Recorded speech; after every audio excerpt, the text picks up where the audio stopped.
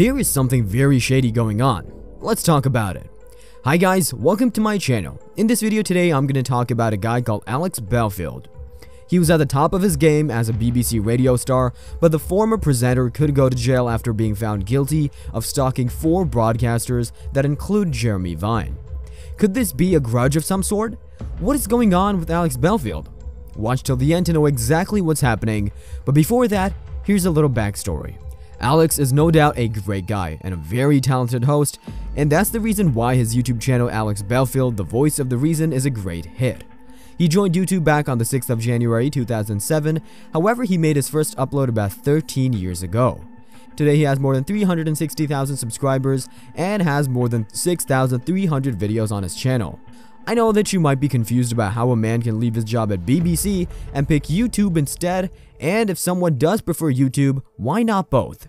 Statistics say he only makes $2,000 a month from YouTube ad revenues. Alex is from Nottinghamshire and he started a career as a part of the launch team of Radio 106, and that was more than two decades ago. He also launched a website back in 2012 and has been producing content for it. He's done a lot in life, and between 2004 and 2010, he appeared on radio stations like Mercia FM, BBC Bristol, BBC Radio Shropshire, and BBC Hereford and Worcester. I think it's a hate crime. I mean, the dude is onto them with all his journalistic skills and some shady stuff. It was on Friday, the 5th of August, when Alex was found guilty of two counts of stalking that involved serious harm and distress, and two other counts of simple stalking at the Nottingham Crown Court after a month long trial. He was accused of 8 counts of stalking, but he wasn't found guilty in half of it. He'll be sentenced on the 16th of September. This is what Cheryl Monk, a district crown prosecutor, has to say.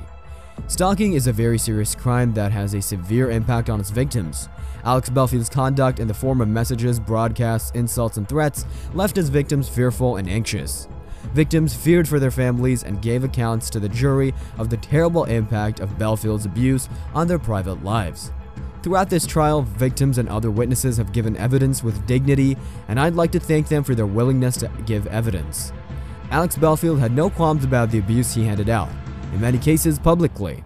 The extent of his abusive behavior provided clear evidence that this conduct was stalking. This was such a bad case of stalking that Jeremy Vine, the presenter of BBC Radio 2 and Channel 5, wept in court.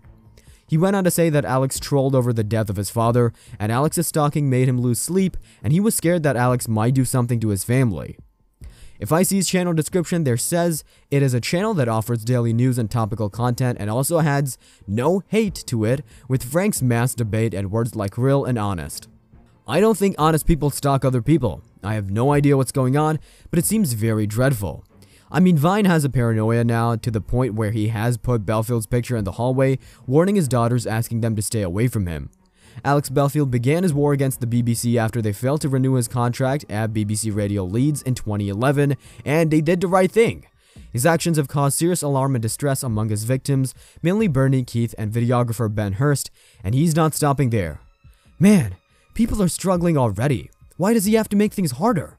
This ferocious and relentless abuse, that's what they said, is causing emotional and mental harm to your fellow ex-colleagues.